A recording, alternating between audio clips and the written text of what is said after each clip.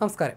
രാജ്യത്തെ പരമോന്നത ബഹുമതിയായ ഭാരതരത്ന ബീഹാർ മുൻ മുഖ്യമന്ത്രി കർപ്പൂരി ഠാക്കൂറിന് മരണാനന്തര ബഹുമതിയായി നൽകും. പിന്നോക്ക വിഭാഗക്കാരുടെ ഉന്നമനത്തിനായി നടത്തിയ പ്രവർത്തനങ്ങൾ പരിഗണിച്ചാണ് പുരസ്കാരം. ബീഹാറിലെ ആദ്യ കോൺഗ്രസ് ഇതര മുഖ്യമന്ത്രിയായിരുന്നു കർപ്പൂരി ഠാക്കൂർ.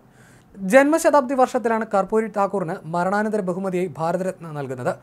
സോഷ്യലിസ്റ്റ് നേതാവായ ടാക്കൂർ ആയിരത്തി തൊള്ളായിരത്തി എഴുപത് ഡിസംബർ മുതൽ ആയിരത്തി തൊള്ളായിരത്തി എഴുപത്തിയൊന്ന് ജൂൺ വരെയും ആയിരത്തി തൊള്ളായിരത്തി എഴുപത്തിയേഴ് ഡിസംബർ മുതൽ ആയിരത്തി തൊള്ളായിരത്തി എഴുപത്തി ഒൻപത് ഏപ്രിൽ വരെയുമാണ് ബീഹാർ മുഖ്യമന്ത്രിയായിരുന്നത്.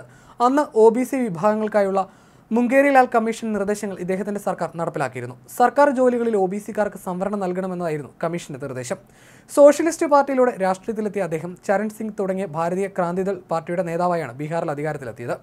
പിന്നീട് പാർട്ടി വിട്ട അദ്ദേഹം ആയിരത്തി തൊള്ളായിരത്തി എഴുപത്തി ഏഴ് മുതൽ ആയിരത്തി തൊള്ളായിരത്തി എഴുപത്തി ഒൻപത് വരെ ജനതാ പാർട്ടിയിലൂടെ വീണ്ടും അധികാരത്തിലെത്തി.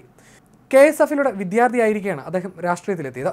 സ്വാതന്ത്ര്യ സമര പോരാട്ടത്തിൽ പങ്കെടുത്ത അദ്ദേഹം ഇരുപത്തിയാറ് മാസക്കാലം ജയിലിലായിരുന്നു. സ്വാതന്ത്ര്യാനന്തരം അധ്യാപകനായി ജോലി ആരംഭിച്ച് പിന്നീട് സോഷ്യലിസ്റ്റ് പാർട്ടി അംഗമായി ആയിരത്തി തൊള്ളായിരത്തി അൻപത്തി അഞ്ചിൽ നിയമസഭയിലെത്തി.